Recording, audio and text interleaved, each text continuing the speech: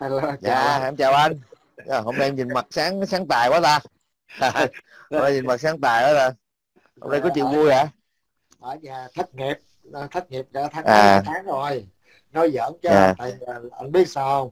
Ờ, cho Lâm Hà Dạ. chào hết ờ, anh chị em cảm ơn anh ờ, khách mời ờ, nhường lại cho Lâm Hà Ờ, chúc quý chị Dạ. em cô bác ở trong đất nước Việt Nam có một buổi tối ngủ cho thật ngon nha thì bây giờ cái Dạ. chỗ này nè thì Lâm Hà Dạ. thì cũng làm cũng gần 4 năm rồi không có thời Dạ. gian nghỉ thì có cái cơ hội Dạ. nghỉ được ờ, khoảng vài tháng đó anh Ờ, em mến chào Dạ. anh cả nha mến chào anh cả à, anh Cầm Nguyễn dạ thì ờ, có cơ hội mình nghỉ ờ, cho nó xả hơi cho nó khỏe đó anh trai đúng Thì, đúng rồi anh dạ đầu tháng 5 á bắt đầu em mới đi làm lại Ờ, Dạ. ok thì ờ, nói về cái tình hình đất nước Việt à, cái Việt Nam á của chúng ta hiện bây giờ thì em không có biết được là cái ờ, vật chất ờ, cái giá cả nó leo thang như thế nào nhưng mà Dạ. theo em có hỏi những cái đứa em ở trong nước á thì ờ, dạ những đứa em nó nói hiện bây giờ trong nước nước mình á, thì giá xăng ba chục ngàn hay ba mấy ngàn gì một lít thì tính ra à, một lít à, nó vẫn còn rẻ hơn ở, ở bên Mỹ này anh à để Dạ. em ngồi em tính hồi nãy giờ một ga lông xăng của Mỹ là tính ra nó ba sáu ba lít sáu như là sáu. ba lít sáu cho một ga lông dạ mà Dạ. một ga lông hiện tại bây giờ ở, ở California nó tới 10 đồng mười mấy đồng một ga lông mà mình à. tính ra mình tính ra nó vẫn còn mắc tới ờ, tính ra quy ra tiền việt á mình tới ờ, nó mắc tới bảy bảy tám chục đồng một lít lần á dạ. Dạ bảy tám chục ngàn á. Quanh bảy tám chục đồng. Bảy tám chục ngàn á một lít xăng á. Bảy tám chục ngàn. Dạ. Dạ. Thì ờ, nói chung á thì ở đây á có anh chị nhiều anh chị nói Long Hà bưng bô này kia nọ thật sự em không bưng bô ai đó. Nhưng mà Cái ai họ đi quan tâm Em- ba chuyện đó làm cái gì. Dạ. Em ờ, em quan tâm cái chỗ là cái lời nói của mình nói có đúng có sự thật hay không. đúng rồi. Đúng sự thật hay À. không thôi. Dạ. dạ Thì mình nói gì nói đừng đừng bao giờ mình lên đây mình nói ờ, bừa nói bãi. Cái nào đúng Dạ. mình cho đúng, cái nào sai là mình cho sai. Hiện bây giờ anh biết cái tô phở em mới mua tô phở ăn thôi. Bây giờ em lấy Dạ. cái tô phở ra. Hồi xưa cái tô phở tái Ừ. nhỏ, thấy không? dạ Nhưng dạ có 7 đô thôi. Đúng không? dạ Mà bây giờ tôi Dạ. cũng là tô phở tái nhỏ mà nó quất 14 đồng. Gấp đôi. cho một tô. Thì anh nghĩ À, vì đi, gấp đôi. Gấp đôi không? đúng rồi gấp đôi. Nhưng mà em không hiểu tại sao có nhiều anh chị đã lưu vong. Ở đây em nói là lưu vong mà lưu vong ở đây Lâm Hà cũng là người lưu vong. Dạ dạ em biết. cái dạ. lưu vong á là mình phải sống làm sao làm cái kiếp con người đi. Chứ Dạ. mình đừng có đem ra cái đất nước của mình để mình ờ, mình nói xấu cái đất nước của mình dạ. Thật sự ở đây tôi cũng nói cho các anh các chị mà đã lưu vong rồi á thì mình lên mình nói cái gì nó có cái sự thật đi mình đừng có Dạ. bừa bãi mình đừng có phát ngôn bừa bãi mình đừng có suối dài những anh em ở trong đất nước Việt Nam mà phải xuống đường làm ba cái chuyện tồi bại theo cái sự ờ, ý muốn của các anh các chị bên này. Long Hà không có đồng ý. Long Hà không có muốn Dạ. người dân ở trong nước mà nghe là các anh các chị rồi bị tù tội ai chịu trách nhiệm? Đó là tôi nói thật hiện bây giờ cái đất Dạ. nước Mỹ này đó, nó cái gì nó cũng lên giá hết anh chị à. Đó là tôi nói thật. Hiện bây giờ nó cái gì nó cũng lên giá hết. nó không phải như hồi xưa đâu. Đó. tôi gian xin các anh các chị lưu vong như tôi hãy nên nói sự thật. Đừng có soi bói đừng có mỉa mai đừng có vô không. Dù Đúng cho mình đi đâu đi đất nước của mình cũng là vẫn hơn. Đó là nhà mình mà đúng không dạ. Dạ. đó là em em lên em chia sẻ như vậy đó. Chứ đừng có nói ờ ờ, hiện bây giờ cái chế độ cộng sản không không lo cho dân ờ, kinh tế này kia nọ không phát triển ờ, coi như vật chất leo thang. Tôi xin lỗi các anh các chị lưu vong ở đây nè. Ở đâu nó cũng leo thang hết thậm chí bây rồi. giờ ở trên đất nước quốc gia nào Mỹ cũng này, vậy thôi. Cái ờ, mình nói là nói cho rõ anh ờ, một trong một cái tiểu bang của nó nó có chỗ nó rẻ hơn có chỗ nó mắc hơn. Cũng như em ở tiểu bang Virginia mà cái vùng em ở là 5 đồng mấy cho một ga lông mà đi qua một cái hướng khác á, là 6 đồng mấy. Mà qua cái hướng khác nó là 7 đồng mấy một gallon. À. À, cái cái Nó- anh anh Hà anh Hà. Anh Hà hả?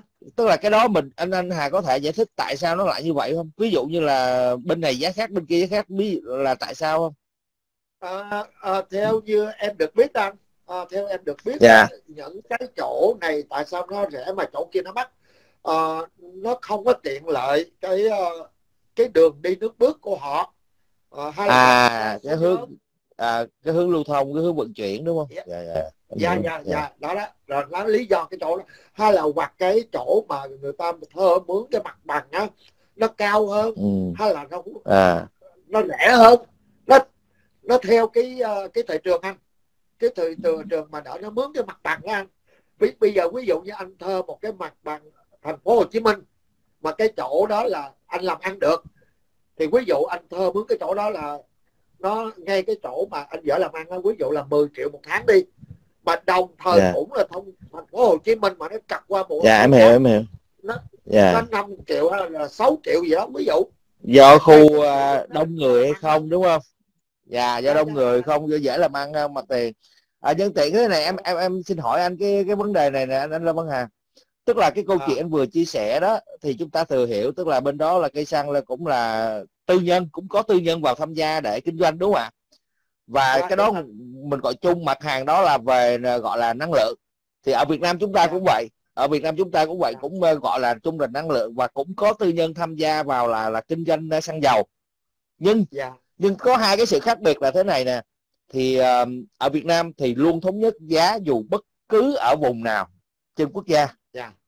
À còn Mỹ thì có thể là giống như là họ thả nổi cho tư nhân hoặc là tùy theo lợi nhuận của họ họ có thể điều chỉnh mức giá như thế nào cho phù hợp với cái kinh tế của họ đúng không ạ? Thì theo anh á dạ. theo anh ha à, anh nhìn thử xem hai hai cái điểm này nó có cái gì nó nó có ưu và khuyết điểm ở trong cái à, hai cái vấn đề này không Ờ, theo theo cái quan niệm của em suy nghĩ cái chỗ này là anh tuy là nó một Dạ. đất nước Mỹ nhưng mà nó 50 tiểu bang thường thường người ta nó gọi là 52 tiểu bang nhưng mà thật sự nó đúng ra Dạ. là nó có 50 tiểu bang thôi thì trong cái lá cờ của nó là 50 ngôi sao mà mỗi ngôi sao nó đại diện Dạ. cho một tiểu bang là 50 tiểu bang à thì một tiểu bang nó đó dạ là nó ờ, cái nghĩa nó cũng như là một nước anh anh anh hiểu em nói không? Dạ dạ dạ em hiểu. Đó dạ. Ờ, là cái nó là cái một cái tiểu bang đó, đó là, là là một cái ông mà thượng nghị sĩ hay là cái gì đó vân vân là ông đại diện cho cái tiểu bang đó. Còn cái chuyện mà liên bang đó, thì nó theo là gọi là bao gồm cả một cái đất nước Mỹ. Nó nó so sánh là Dạ. khác cái chỗ là mình không có so sánh một cái đất nước Việt Nam mình nó không phải là tiểu bang này à, tiểu bang nọ nó là một nước rồi còn cái đất nước Mỹ nó quá rộng dạ mà mỗi tiểu bang nó trưởng Quá rộng, quá rộng. nước đó. Ừ. nó gọi là Dạ, một nước dạ. đó. đó là nó là như vậy đó thì cho nên nó um, Em hiểu. tiểu bang này là giá khác mà tiểu bang nọ là giá khác ví dụ như bây giờ tại sao ở tiểu bang em ví dụ là một gói thuốc của nó là 5 đồng 75 cent một gói là cho mình cho 6 đồng đi thấy không? Dạ. Mà tại sao mình đi lên trên New York lại lại là 14 đồng một gói? Anh thấy nó khác biệt chưa? Nó muốn gấp đôi Dạ. rồi. Đó nó một tiểu bang nó cũng như là một nước gì đó. Nó tượng trưng là em hiểu em hiểu em em hiểu ý anh. Em em dạ em rất hiểu ý anh ờ, của anh nhưng mà ý em nói thế này nè. Tại vì á, chúng ta phải hiểu là vấn đề là các quốc gia nào cũng vậy. Họ luôn ờ, đề cao những vấn đề gọi là nó ảnh hưởng tới an ninh quốc gia. Thì cái Dạ. an ninh năng lượng á đúng không? Anh nhớ không? Cái an ninh năng lượng á thì Dạ. quốc gia nào họ cũng xem trọng hết. Đúng không ạ? Dạ. Ờ, dạ. nhưng ý Việt Nam ở, Việt Nam chúng ta thí dụ như các mặt hàng khác thì ờ, có thể tư nhân có thể tự điều chỉnh giá. Ví dụ ờ, anh buôn bán nhỏ lẻ đi anh cảm thấy là hôm Dạ. giá hôm nay nó lên anh bán lên. Giá ngày mai xuống Dạ. anh bán xuống. Để đó tùy theo anh đúng không? Là ở Việt Nam Dạ. chúng ta rất là thoải mái. Nhưng những mặt hàng gọi là chính yếu nó mang cái tính gọi là an ninh ờ, cho quốc gia luôn. Thì dạ. luôn có sự thống nhất và cái sự là điều chỉnh của chính phủ để nó giữ được cái độ bình ổn giúp cho đỡ bị sốc người dân không bị sốc. Đó thì à, theo ờ, anh á, em, thì đây có hai phải có phải là hai cái sự khác biệt không? Dạ dạ em nhắc lời anh là với hai nữa đó. À, theo như em nghĩ á, có thể là cái chuyện này à, mỗi cái tiểu bang á, cái ngân sách của cái tiểu bang á nó thiếu thốn. À, à. có thể là nó đánh đánh giá à. cao lên để nó thu cái tiền thuế gì cho cái tiểu bang đó. À để nó đánh thuế đánh thuế. dạ dạ. Dạ. Do đó là, Đúng nó, rồi. nó có thể là nó vô cái cái, cái chuyện này. Thì thế em nghĩ như Đúng vậy. rồi. Dạ, dạ em hiểu rồi à, dạ, đó, em đó hiểu. là như vậy đó dạ. rồi đó. cũng cũng cũng cũng cũng khổ cho người dân anh ha tức là dạ. uh, người dân ở vùng nào và vấn đề xui xui vô cái bang đó à, người dân lãnh hết nhưng mà nhưng mà anh Hà ví dụ cái thuế đó cái mức dạ.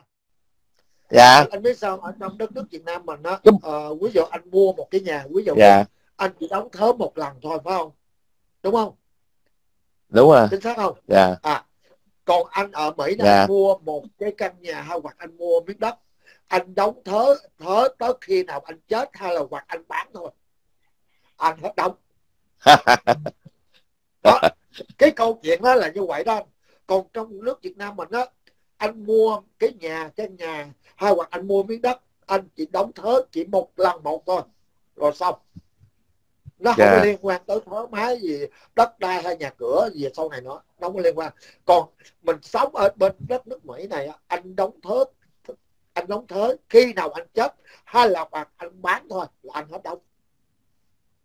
Đó là anh nói rõ cho à. uh, tất cả anh chị em hiểu là cái câu chuyện như, như vậy. Hình như là anh cầm ở đây anh cũng biết mà. Anh tới nhà cũng biết mà. Dạ dạ. anh chị ở bên đây đúng rồi uh, chuyên môn là nói uh, không có đúng sự thật. Cho nên em cảm thấy đó tại sao hồi trước kia là em là lên em chữ cộng sản em chống cộng rất là dữ dội mà ngày hôm nay nhờ như vậy em mới đúng rồi. tỉnh em mới sáng suốt ra mà em lại quay mới nhìn ra. đó chống trả lại. Thấy không? Yeah. không có đúng sự thật. Em uh, thế này là anh Hà em quý em quý anh ở cái điểm này nè tức là à. có như thế nào chúng ta không quan trọng. Đã trước đây là anh như thế nào cũng chẳng quan trọng. Nhưng mà em quý anh yeah. cái là vấn đề là tức là chấp nhận sự thật. Yeah. mình không bưng bô cho ai mình cũng chẳng phải là dư luận viên cho ai cả. Mình chỉ yêu cầu cái gì đúng thì mình nói đúng. Ừ. nói thật ví dụ như em kể cả như trong nước ví dụ như là ờ, ờ, thế này thế nọ có vấn đề gì nó không đúng thì chúng ta cũng cất lên tiếng nói chứ. Cái chuyện đó bình thường. Đúng rồi đúng bình thường. Đúng à chứ chúng ta không thể mà dựng chuyện. Chúng ta không thể mà dựng chuyện hoặc là xỉa sói hoặc là bị bôi hoặc là mang cái câu chuyện này lồng ghép qua cái chuyện kia rồi rồi, rồi lèo lèo lái dẫn dắt dư luận thì cái chuyện đó không hay. Anh công nhận không? Em em em dạ. em thích là như vậy. Tức là rất rõ ràng dạ. chuyện nào ra chuyện đó. À. còn cái gì nó sai nó còn yếu kém mà nó cần khắc phục thì chúng ta cũng phải nên chia sẻ với chính phủ hoặc là chia sẻ. Giống như anh ở bên Mỹ cũng vậy đúng không chính phủ Mỹ còn những cái thiếu sót gì cái gì nó chưa đủ nhưng mà anh nhìn ra được là họ vẫn làm đó nhưng mà vì cái tình hình chung thế này thế nọ thì chúng ta là vai trò người dân thì chúng ta cũng nên một chung tay gọi là chia sẻ cho cho cho chính phủ. Cái chuyện đó hoàn toàn bình thường đúng không ạ? Dạ, bởi vì chúng ta là một dạ. nhân tố ở trong xã hội thì chúng ta phải sinh sống chúng ta phải biết có vấn đề là trang hòa và sẻ chia cái chuyện đó là phải xảy ra thôi dạ, ờ, chứ đừng có lên mà tầm bậy tầm bạ mà suối này suối kia rồi rồi rồi dựng chuyện cái này thì cái chuyện đó là mình hoàn toàn mình không chấp nhận được dạ, dạ. Ờ, cho nên đó thì em cũng nói xin lỗi anh với xin lỗi tất cả anh chị em đang ờ, theo dõi cái diễn đàn của anh thật sự đó thì em rất là buồn buồn cho cái số phận yeah. Dạ. những anh chị mà lưu vong như Lâm Hoa Hà ở đây à, tại sao chúng ta là đi chữ lòng với nhau gà nhà lại đá gà nhà. Tại sao chúng ta phải đi beo xấu với nhau để làm gì? Các anh các chị yeah. Dạ. suy nghĩ lại đi. Đừng bao giờ đem cái người dân của mình đỡ mà đi nói xấu. Nữa nhiều đủ rồi.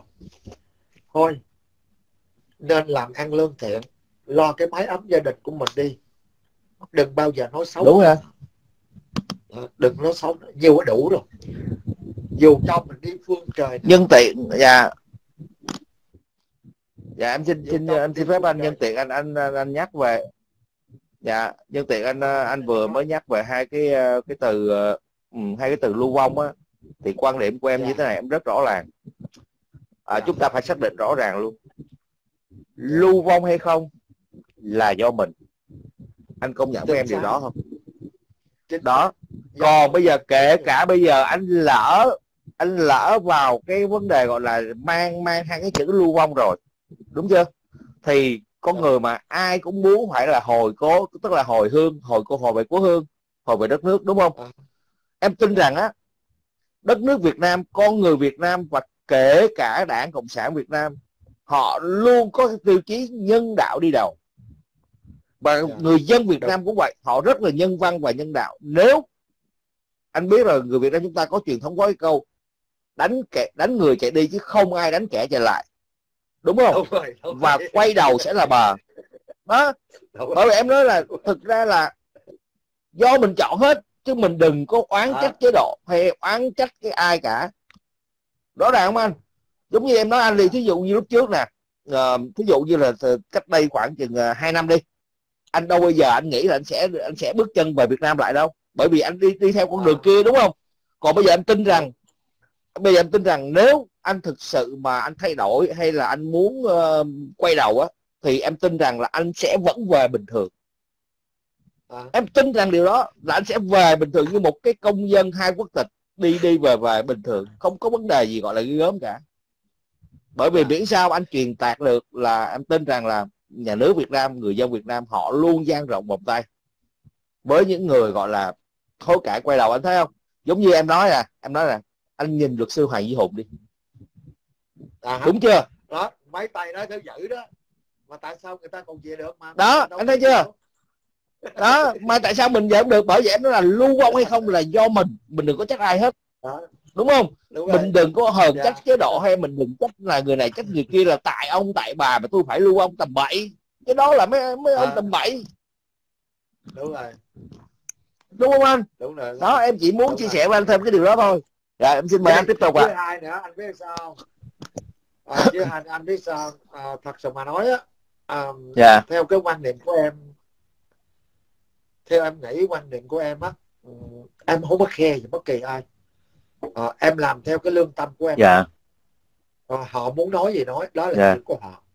Còn con đường em đi đó là con đường của em đi. Có nhiều anh chị nói ờ dạ đúng anh ờ, cái thằng này bây giờ nó nói là nó không tập chữ cộng sản, nó sẽ quay đầu này thế nọ.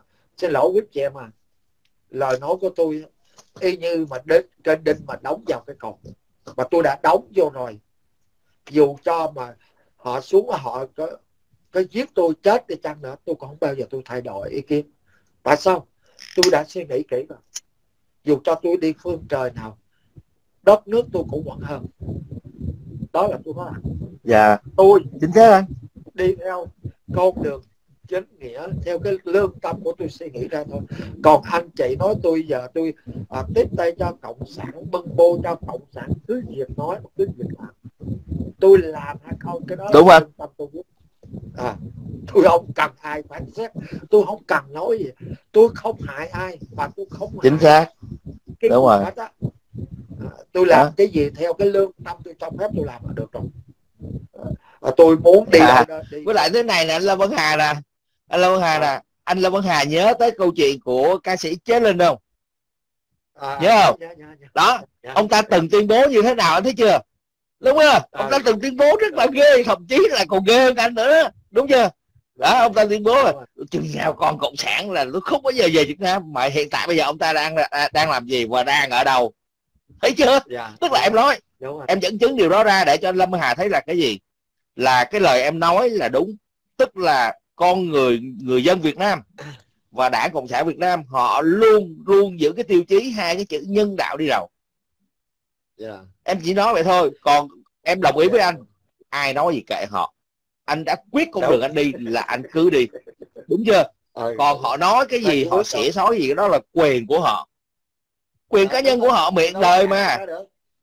miệng đời miệng họ mà. Họ nói cái gì họ nói tôi làm cái gì tôi cảm thấy họ đúng. đâu có giúp mình đâu. Tôi không hẹn với lương tâm.